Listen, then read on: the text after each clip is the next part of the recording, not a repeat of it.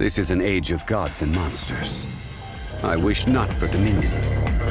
Yet I cannot watch the coming